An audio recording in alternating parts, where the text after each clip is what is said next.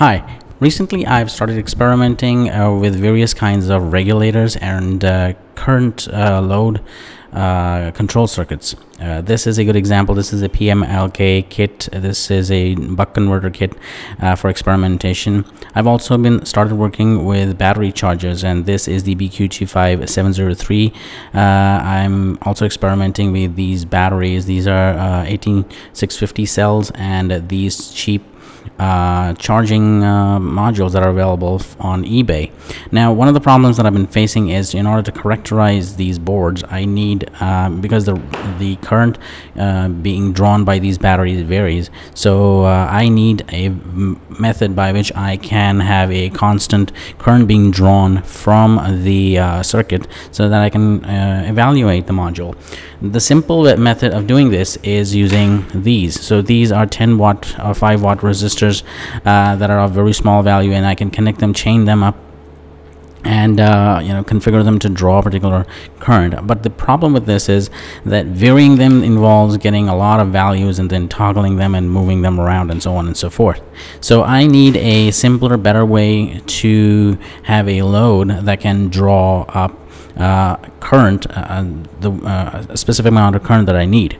Now, typical DC loads are available online, and uh, they are they have two problems with them. The first, they're very expensive. I really can't afford one of them. The second is that they're really big and bulky, so putting one, uh, you know, the mobility factor just kicks out. So, a simple method of doing uh, a constant current load is something that was shared initially by Dave Jones of the EEVblog, and I've um, made up a, little circuit on my own. So this is the simple circuit, uh, a simple DIY constant current load that I have assembled, and uh, that's what I'm going to talk about in this video. So let's get started. Now making one of these uh, circuits is not that trivial. There's a lot of information already online and uh, like I said, I'm replicating design so, uh, specified by Dave, Dave, Jones of the EEVblog. The idea was to have something that is very low cost and uh, uh, using parts that I already have in the lab. So what I did was I drew up this little circuit. So want, let's let me just go through uh, the circuit how it works. I have a buffer op amp here which connects to a multi-turn pot. Now I'm using a multi-turn preset uh, because I don't really have those multi-turn uh, expensive pots. Those small presets small variable resistors uh, are easier to find and yes and are more cost effective I'm using the LM358 which is a dual op amp uh, it's not a rail to rail op amp but it's really really cheap. It won't go down below 1 millivolt or 2 millivolt but it can go up to it can use a power supply up to 36 volts. So for powering this thing up I'm using a 9 volt battery.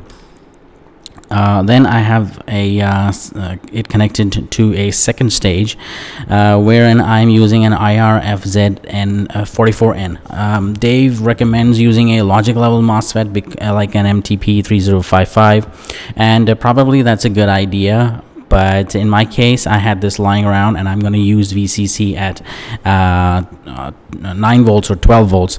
Uh, I'm going to chain up uh, batteries and make a battery pack out of them so more or less it's going to work for me. I, am not going to be supplying only 5 volts here.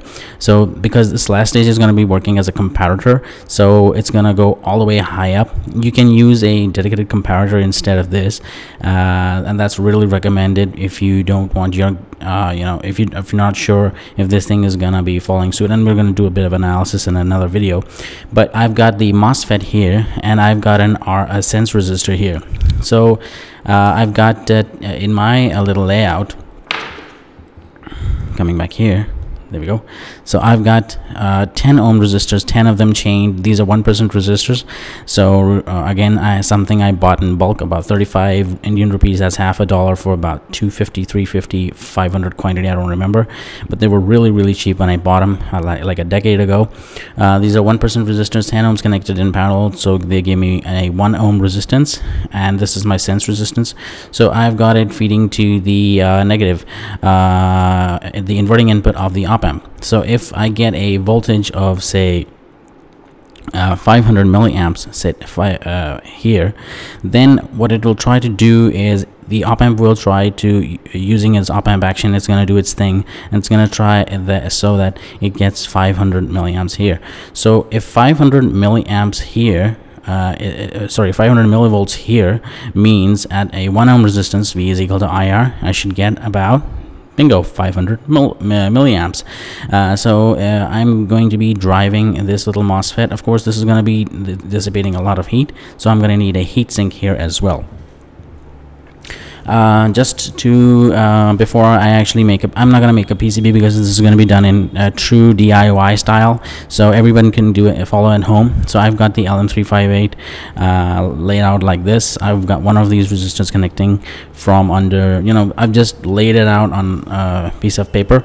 And then uh, this is the final result here you can see I have the multi-turn pot the 10k uh, resistors. So R1 R2 uh, let's put R1 is equals to R2 is equals to 10k all right. And uh, then I've got these 1% uh, uh, 10 ohm resistances doing 1 ohms. Uh, in addition to that, I've got a small little heatsink here, so we're going to take a look at the heatsink calculations next. But in order for me to check uh, what uh, current is being set, I've taken a line from here. So what I've done is I've taken this as a point and extracted it. And I have a small connector. So instead of buying another multimeter or something like that what I've done is I've created this uh, four pin connector and I've attached these banana plugs to it.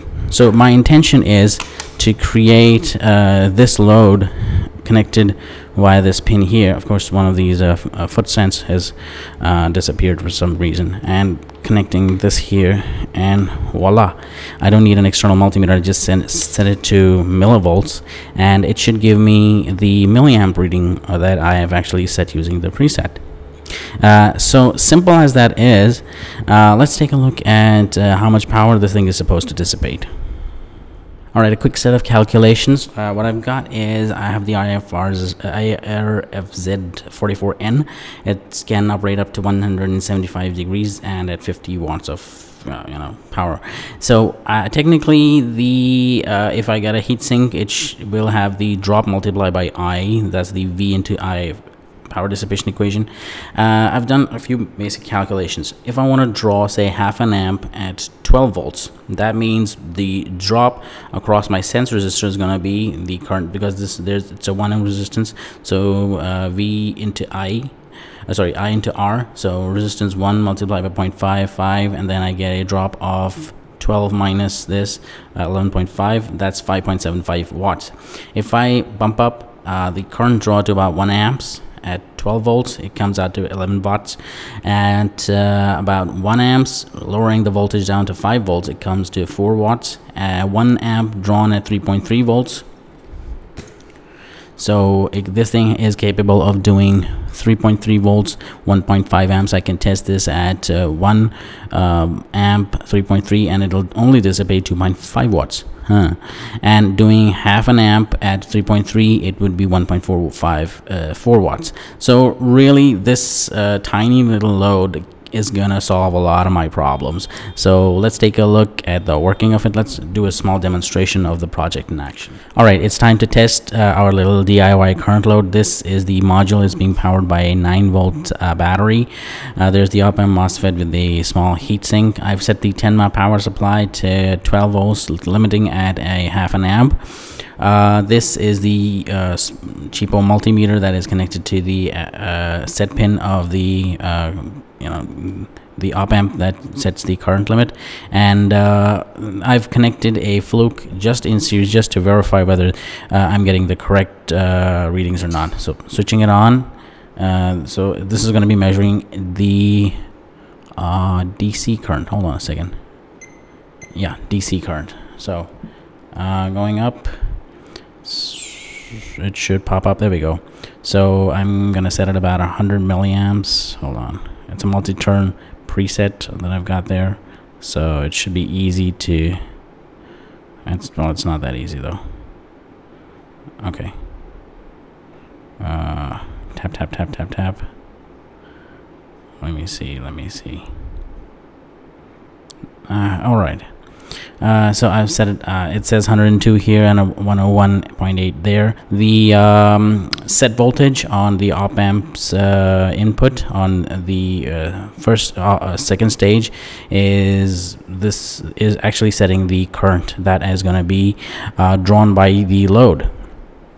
All right now I've got the temperature probe out. I've I've I'm gonna probe the uh, heatsink over here of course uh, there's a lot of places I can connect this. There we go. So it's gonna give me the temperature. You can see it's going up. It's only drawing about 100 milliamps and the temperature is now at 37 and rising. Let's take this kick this up a notch and uh, let's see what happens. Hold on. So I'm gonna be doing 200 300 400 there we go. So now at i'm setting it at 524 you can see the current limit on this thing kicking in. Uh, i'm gonna have to set it down a bit. I'm gonna set it exactly 500 and there we go. Oops oops oops.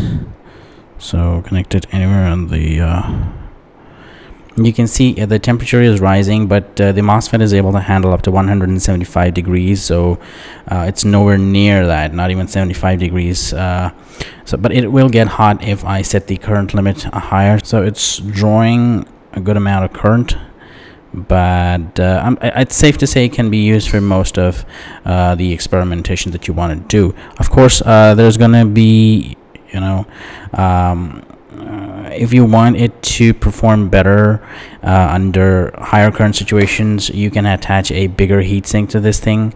And uh, in my case uh, I just want to draw somewhere about half an amp and test it about 3 3.2 uh, degree uh, 3.3 volts or 2.7 volts or something like that because I want to be testing um, uh, different voltage regulators. So I don't really want it to draw too much of current. And the best part of this thing is it's portable and disposable. So uh, that's the DIY constant current load for you and one last thing to consider uh, when you're making one of these circuits is uh, that taking a look at the MOSFET, uh, the VGS for the for the IRF Z44N the VGS on should be somewhere around 10 volts. Now I'm already using a power supply that is uh, 9 volts, and there's going to be uh, it's not a rail-to-rail op amp, so the op amp really won't go to 9 volts. In addition to that, when the current through this uh, line actually st starts to increase, if I have a 1 ohm resistance here and I have one amp flowing through it, I'm expecting a 1 volt drop. So 1 volt at the uh, source pin and 9 volts max at the gate pin. Uh, that gives me an 8 volt drop. So that's going to cause problems and it's going to cause issues with switching on the um, uh, MOSFET completely. So there's going to be a bit of an issue and that's one of the reasons why uh, I was not able to get at 1 amps. Uh, you know, the reading on the multimeter was not the same. The set current on this thing was not the same as the set current uh, actually being drawn. So that's uh, one of the things that you need to take care of. Even with the MTP uh, 3055 I would recommend using something like a 12 volt. So I'm going to be upgrading this little module uh, instead of using one 9 volt battery pack I'm going to maybe use two one, two of those battery packs.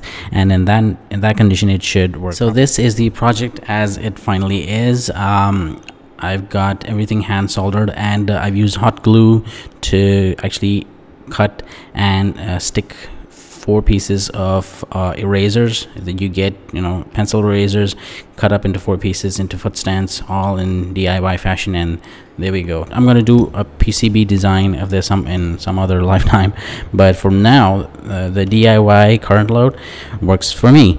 Uh, if you like this video give, give it a like and thumbs up. Thanks for watching